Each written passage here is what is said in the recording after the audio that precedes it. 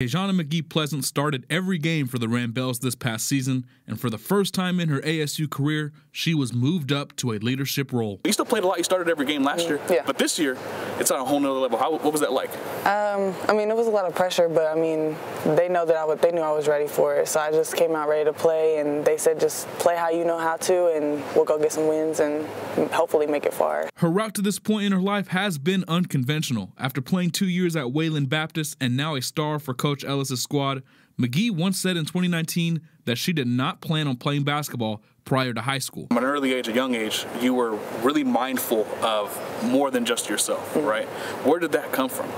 My family. I've always been taught that as at a young age, and even now, like even to just be mindful of other people, and you know, not never be selfish. Always think of what's best for the team, not for what's best for myself. The 2022-23 season for Angelo State women's hoops came to an end earlier this month, but it was a year of growth for everyone involved. Yeah, it seems it seems like this is one one really big family, and despite the you know how the season ended, what are your overall thoughts and feelings about this year?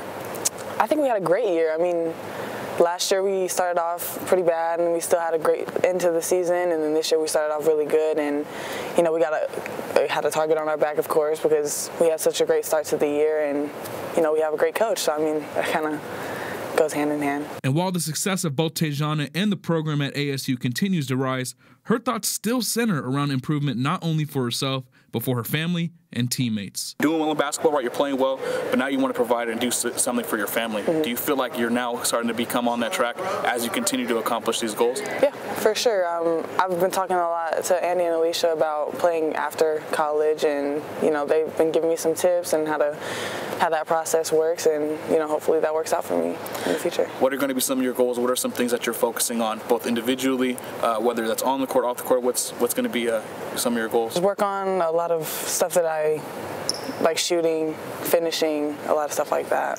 Hey, you shot 36% from three this year. Last year you were at like 22 or something like 24. So I mean, you, you, you, took a little Ja Morant kind of jump in terms of shooting. Yeah, so I want that higher.